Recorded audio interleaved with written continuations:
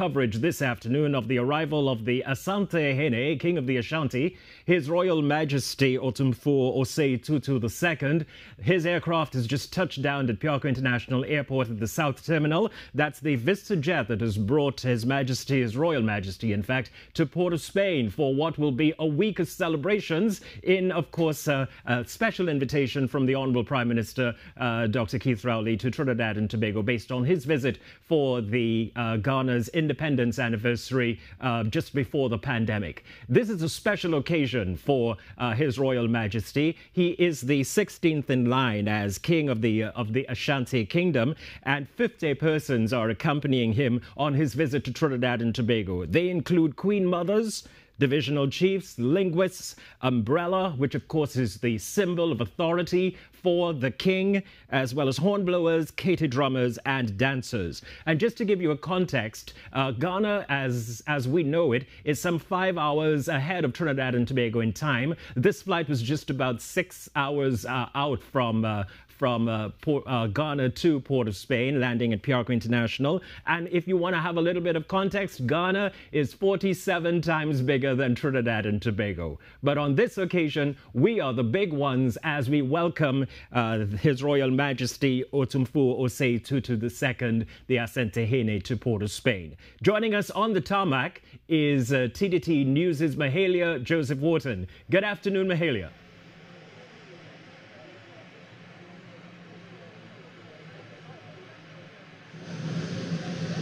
Yes, so we are currently at the Piarco International Airport at the South Terminal to be exact, where we are awaiting for the uh, Asante Hene to depart from the aircraft. Now, there's so many people waiting here for him. I can just tell you a couple of the ministers that are here right now. We have the Minister of Tourism, Culture and the Arts, Randall Mitchell. We also have the Minister of National Security, Fitzgerald Hinds, as well as we have some of the persons on his entourage team who would have arrived before. Now, the Asante Hene has a packed schedule ahead of him as he is also going to be a part of our emancipation celebrations as well. Tomorrow, he's expected to meet with Prime Minister Dr. Keith Rowley as well as the President of Trinidad and Tobago, Christine Kangaloo.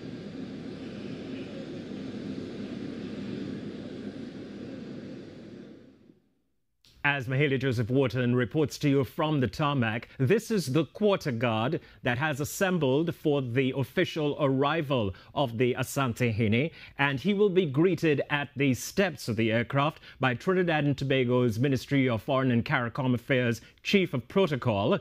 And once that introduction has been made, then he will be afforded the opportunity to be greeted by the Minister of Foreign and CARICOM Affairs. But this visit to Trinidad and Tobago, as Mahalia has said, is such a packed itinerary with events spanning the length and breadth of our island, and of course, a great opportunity for us to see the Asante Hene. Those that are making their way to the steps at this time are all part of his delegation. And let's cross back now to see some of the moments of the special arrival of the Asante Hene, His Royal Majesty Otumfuo Osei Tutu II to the Republic of Trinidad and Tobago.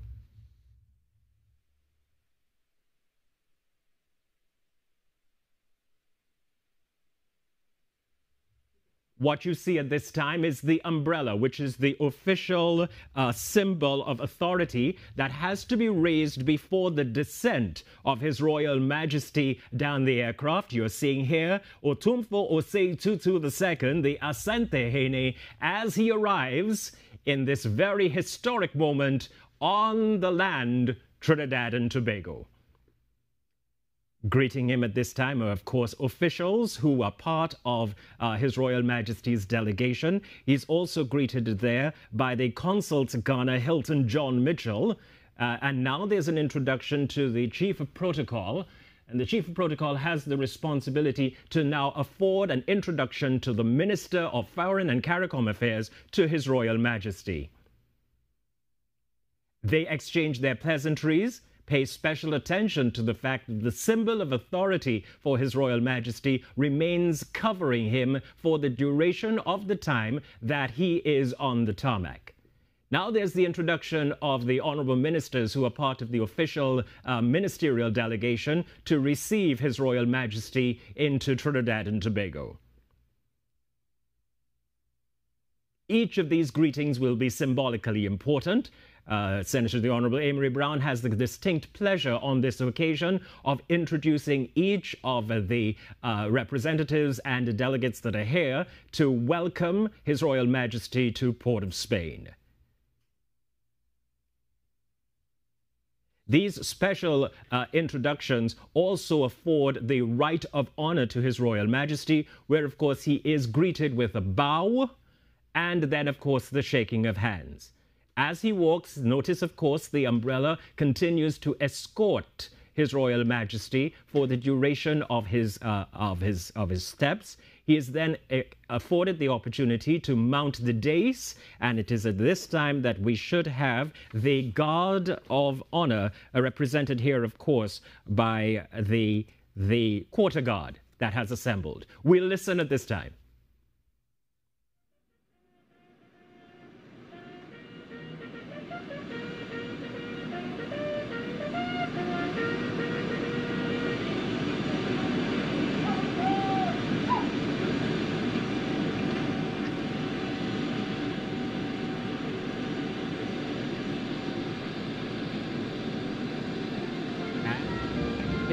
Majesty has received a salute from the quarter guard, whilst other members of the Ghanaian arriving party are escorted to the appropriate vantage point.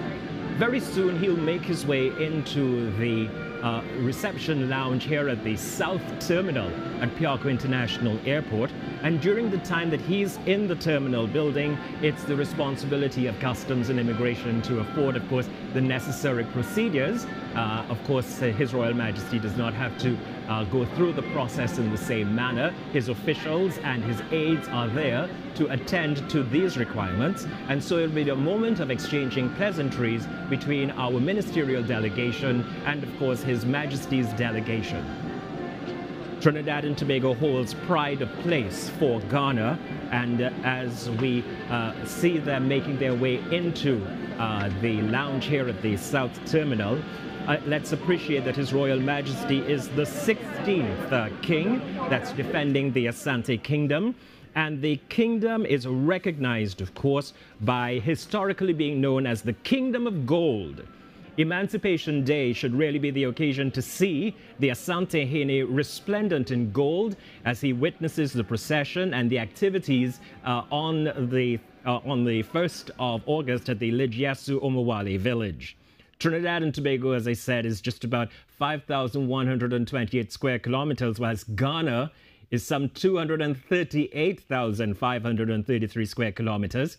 And if ever you've seen the kente cloth, it's the intricately woven, hand-woven textile that takes a few days, in some cases to many months to complete. It is originating from the Ashanti region of Ghana. Globally, the print is used in the design of academic stoles in graduation ceremonies.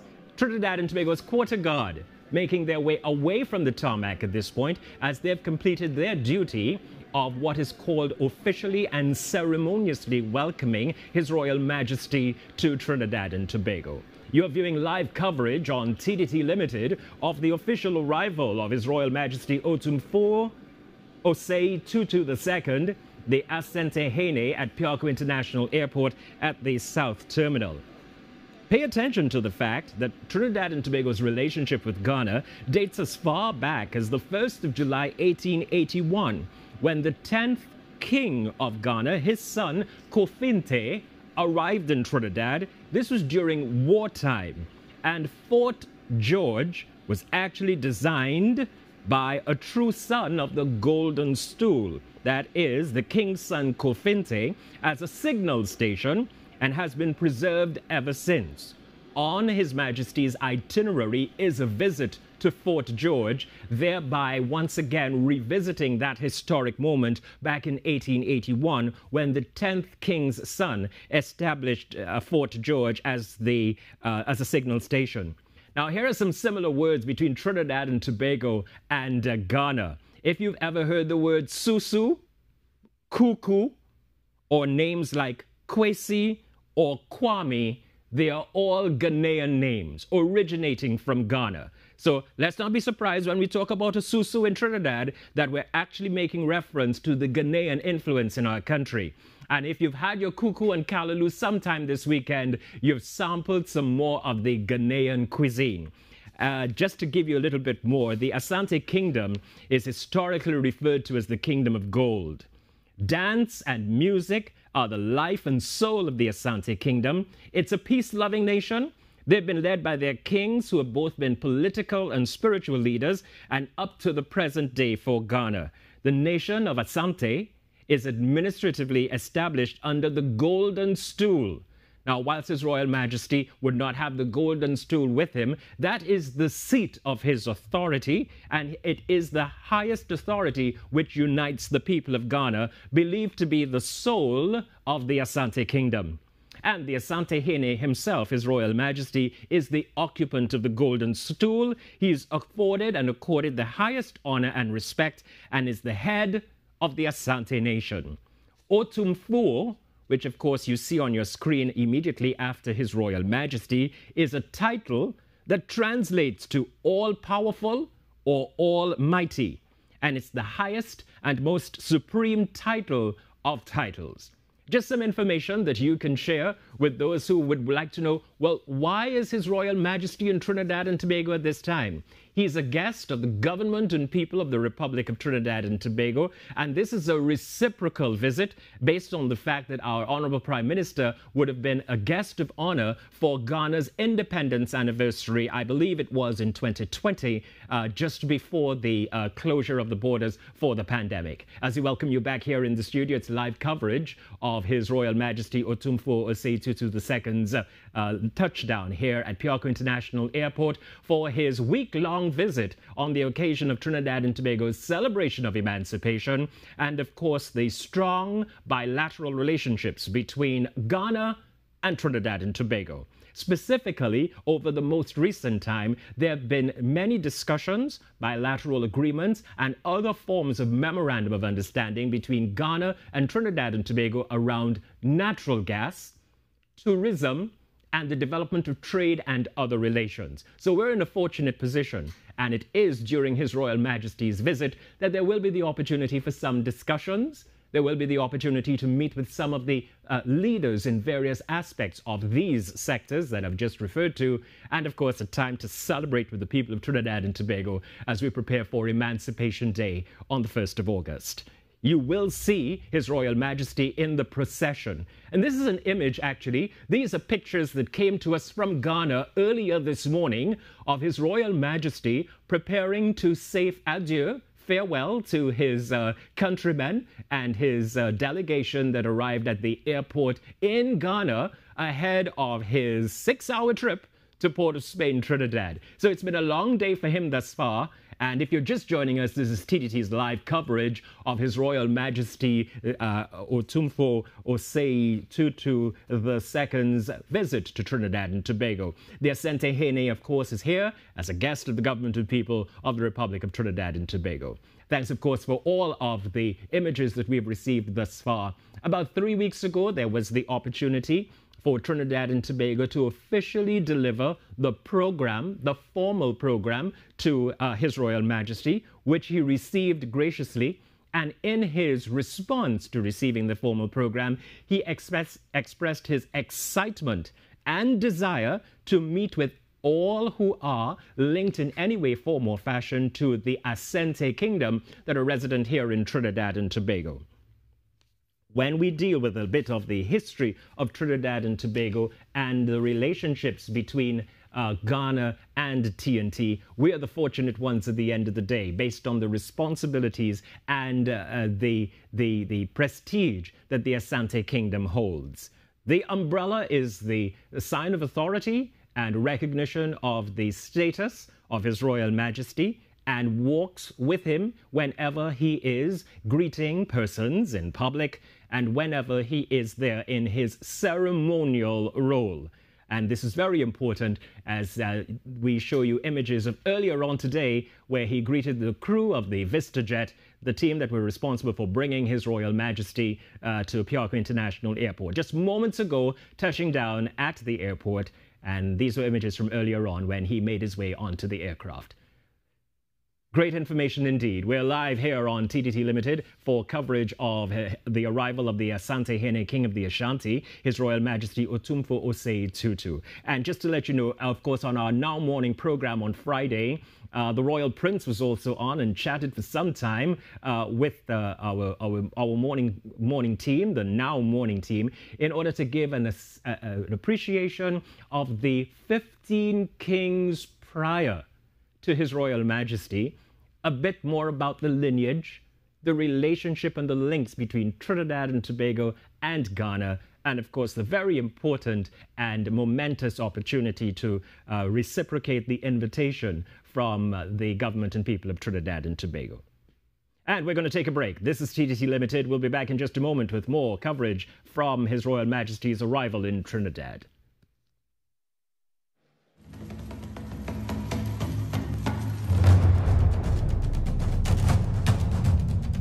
TTT News, nightly at 6.30. TTT News, committed, accurate, relevant.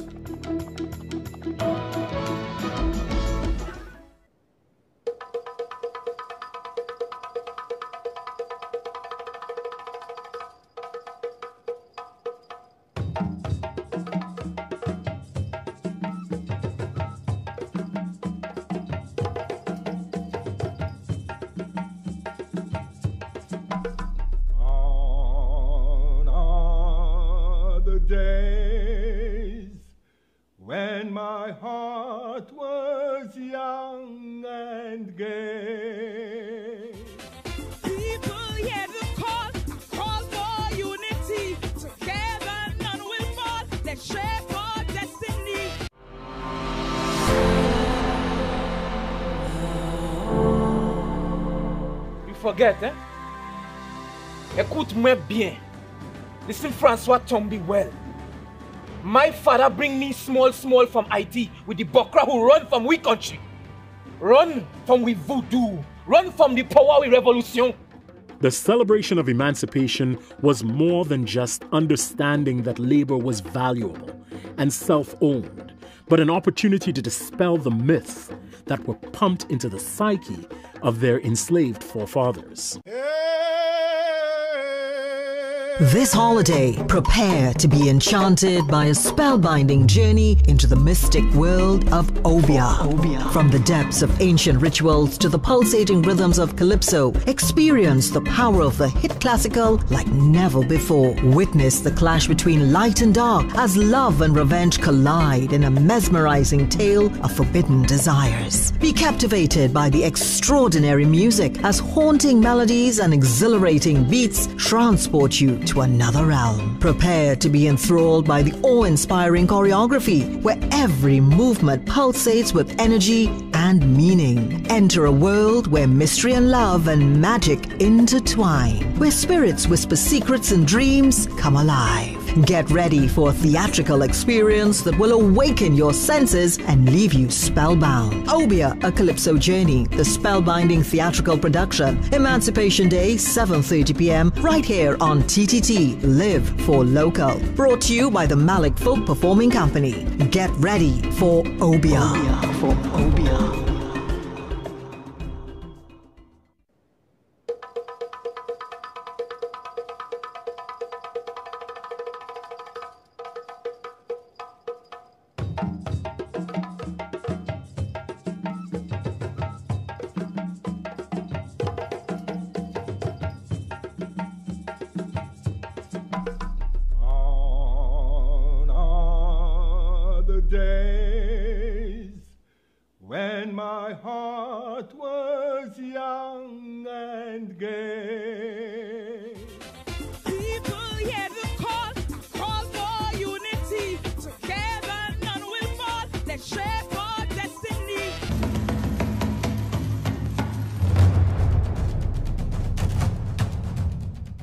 We're coming up on 14 minutes after the hour of 4 o'clock on this Sunday afternoon. Thank you very much for joining us here at TTT Limited as we bring you live coverage of the official arrival of the Asante Hene, the King of the Ashanti, His Royal Majesty Otumfuo Osei Tutu II, to Trinidad and Tobago. 30 minutes ago, this was the Vista jet that brought His Royal Majesty to Port of Spain, and he was greeted, of course, by the ministerial delegation uh, that uh, included the Minister of Foreign and CARICOM Affairs and the Chief of Protocol. His Royal Majesty was also uh, greeted by a quarter guard, and with the greeting, made his way into the business lounge here at the South Terminal of Piarco International Airport, where, of course, the natural arrival procedures are being followed.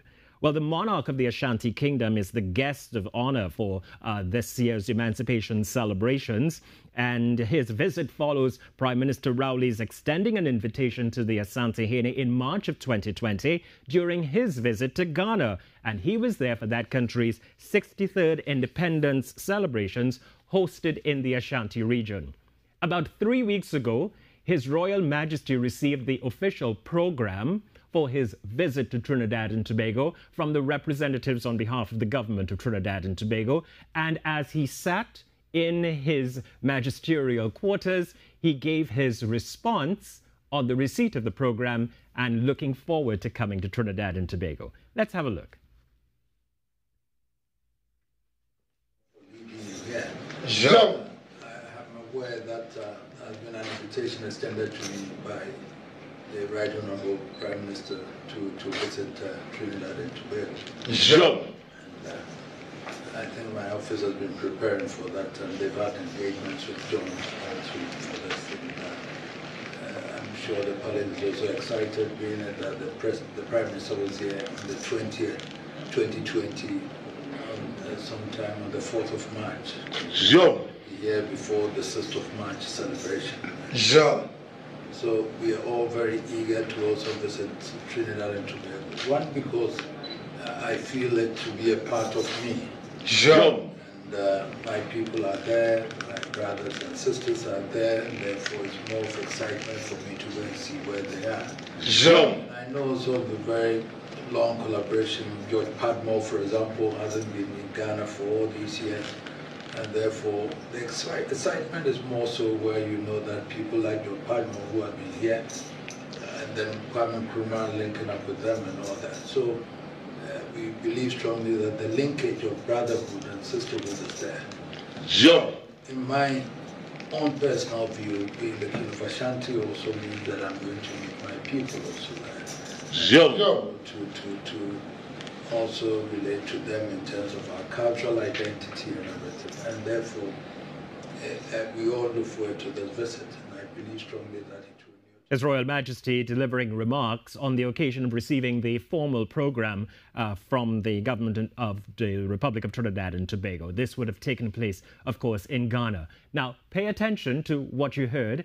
At any occasion, and this is just part of the culture and part of the custom of the Ghanaian uh, Ashanti Kingdom, that once His Royal Majesty delivers a remark, a statement of certainty, those who are in his service respond, Jo. And it is an acknowledgement, almost as how we would say agreed, or yes, or amen, or right, as we say in Trinidad and Tobago. But it is an acknowledgement that when His Royal Majesty speaks, what he says is good, and what he says is right. These are customs, of course, that have come through many, many years. As I said, he is the 16th king, uh, the Asante Hene, and there are 15 prior to him. The son of the 10th Asante Hene would have actually journeyed to Trinidad and Tobago in 1881 and established uh, a, a, substation, a first station at uh, Fort George quite some time ago. Trinidad and Tobago and Ghana have a long history. TNT's George Padmore was a special advisor to Ghana's first president, and many families of Trinidad and Tobago origin are settled in Ghana. Also, take note that oil and gas exploration ties both countries in mutual collaboration. So, we have the pictures here of the South Terminal, just outside of the lounge area, where moments from now we will see the preparation of the official motorcade making its way uh, to the South Terminal area. Of course, there's the national flag and a seat of, of authority for His Royal Majesty. And the delegation will, of course, be leaving Piarco International Airport, making their way to His Majesty's Hotel for the duration of his visit in TNT.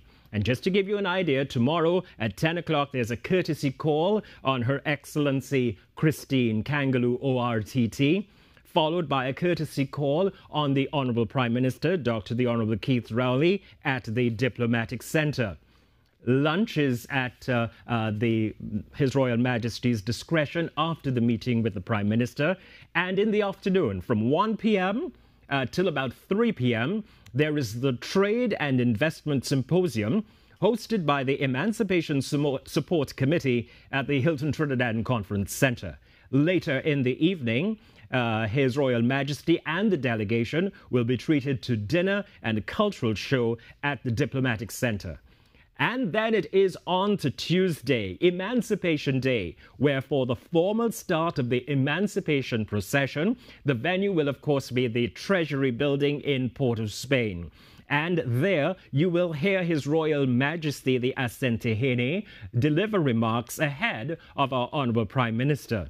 The procession moves off from 9 o'clock from the Treasury building, making its way to the Emancipation Village, the Lidj Yasu Omowale village of the Queen's Park Savannah. And you should be looking out with cameras and phones to see the Asante Hene viewing the procession and sharing in a moment in the procession. Pay attention that, of course, he is expected to be in his ceremonial attire for the procession. Once uh, at the Queen's Park Savannah, the Lidj Yasu Omowale village, there will be the official emancipation program starting at 2 p.m. And there's going to be a cultural presentation with special remarks, formal presentations, and recognition to those, including the Henry Sylvester Award to the Asante Hene. Later that evening, there's a reception. And on Wednesday, the Asante Hene will visit Fort George with the signing of the commemorative card, remarks by the Heritage Preservation and Research Officer of the National Trust, remarks by the Honorable Minister of Tourism, Culture and the Arts, and the signing of a commemorative document by the Minister of Tourism, Culture and the Arts. His Royal Majesty, the Asante Hene, is expected to visit the Desperados Pan Theatre on Wednesday.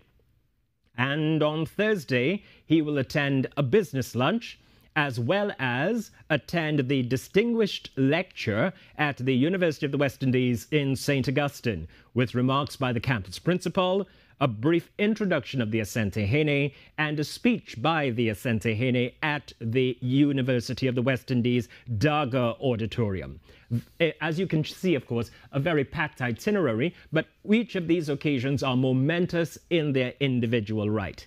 On Friday, as part of what I've said is the oil and gas exploration uh, mutual arrangements between Trinidad and Tobago and Guyana for quite some time. The Asante Hene and a delegation will tour the Point Lisas industrial estate tour the University of Trinidad and Tobago's Point Lisas campus, and then an engagement with the diaspora later that evening ahead of his departure on Saturday, the 5th of August, from Piarco International Airport there we're sharing with you. There's a, uh, from our pictures there at Piarco International Airport, we can see that the weather has changed. It's been one of these very strange days for weather here in Port of Spain. In fact, most of the aircraft, as you may or may not have seen at the start, would have been arriving at Piarco International Airport from the eastern side of the of the runway rather than the traditional journey across the Caroni Plains and then of course landing from the western side. And that's because there's been a huge cloud pattern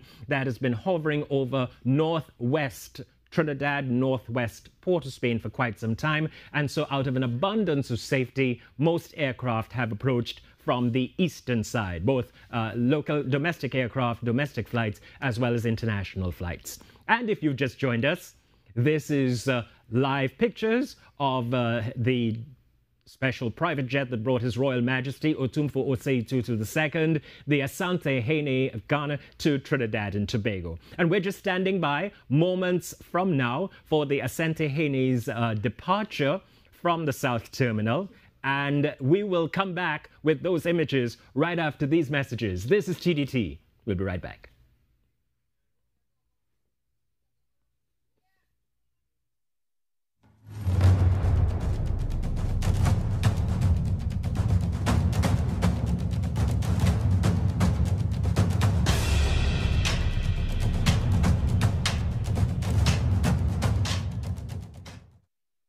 As you can see, we decided to stay with the images as the word from Piarco International is that the Asantehene is preparing to depart from the South Terminal. Once you see the media photographers, including his team, it's clear that he's making his way out.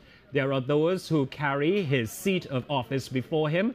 And now here comes the Asantehene, His Royal Majesty, being escorted under his umbrella, a sign of his authority as he makes his way to the official car that will get him and his delegation on their way. Uh, we've lost pictures for just a moment, but it won't be short before we get him back on screen and get him into his vehicle for the movement of the delegation into Port of Spain.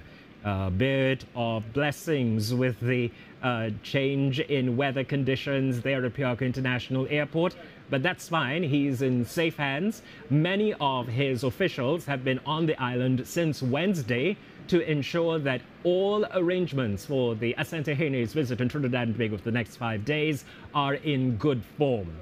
They've had the opportunity to meet with the representatives of the Ministry of Foreign and CARICOM Affairs, and they've gone through the itinerary meticulously with the Foreign Affairs team to ensure that the Asantehene has the most enjoyable emancipation experience ever for visiting Trinidad and Tobago. And we are extremely pleased and proud as this is a momentous occasion for the ties between both countries and an opportunity for us to have yet another appreciation of the very dynamic and exciting aspects of the culture of Trinidad and Tobago that have been influenced from as far as Ghana and as far as the influence from the Asante Kingdom. There are 50 persons in His Royal Majesty's delegation, and during the course of emancipation, through to the week of activities that I've just shared, we'll have a chance to see them perform as well as engage and celebrate the time in Trinidad and Tobago. And we've been very pleased here on TTT to bring you, of course, live coverage of His Royal Majesty's arrival along with representatives of his delegation at Piarco International Airport. Stay with TTT. We've got lots more in store for this Emancipation Week and His Royal Majesty's visit to Trinidad and Tobago. Thanks for being with us.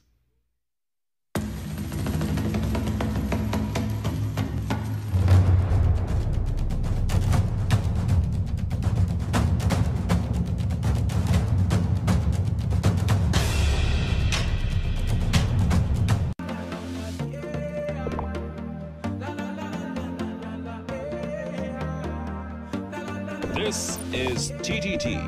Live for local.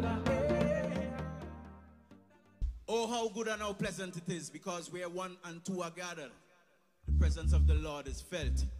I say, "Better sit down in the ghetto. Man, I say, I think we face too much of pain. Time for black people to unite. Listen. Pain, uh, pain, uh, pain. Pressure on the youth in the ghetto. Pain, uh, pain when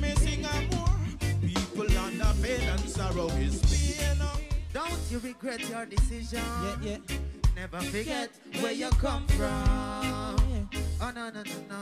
Could I wear small One rings? not Could I beat beat 'em? 'em? Listen up Yeah, again. yeah. United Africa. You want people be free, you know? United.